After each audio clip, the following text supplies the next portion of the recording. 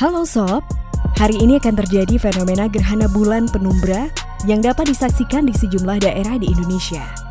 Gerhana bulan penumbra ini akan berlangsung pada Jumat 5 Mei 2023. Mengutip dari situs resmi BMKG, gerhana bulan penumbra terjadi ketika posisi bulan, matahari, bumi sejajar di mana bulan hanya masuk ke bayangan penumbra bumi.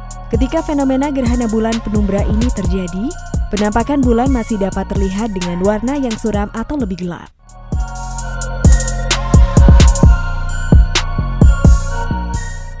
Sama seperti peristiwa gerhana bulan pada umumnya, ketika fenomena gerhana bulan penumbra terjadi, Kenaikan permukaan air pun turut terjadi.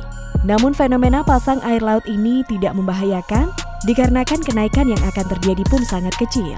Tidak ada dampak signifikan terhadap lingkungan akibat dari fenomena gerhana bulan penumbra.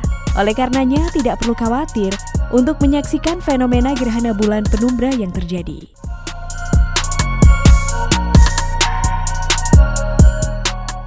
Dilansir dari situs BMKG, Gerhana bulan penumbra akan berlangsung pada 5-6 Mei 2023. Durasi gerhana dari fase gerhana mulai dari gerhana berakhir adalah selama 4 jam 21 menit 28 detik. Gerhana akan mulai pada pukul 22.12 waktu Indonesia Barat, namun puncak gerhana akan berlangsung pada 00.22 waktu Indonesia Barat.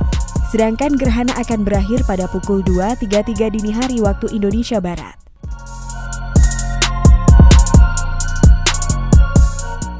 Seluruh proses dari gerhana bulan penumbra ini dapat dilihat di sebagian besar Asia, Australia, sebagian kecil Afrika, dan sebagian Rusia. Indonesia menjadi salah satu negara yang dapat menyaksikan fenomena gerhana ini. Berbagai kota besar di Indonesia turut terdampak dari gerhana bulan penumbra kali ini.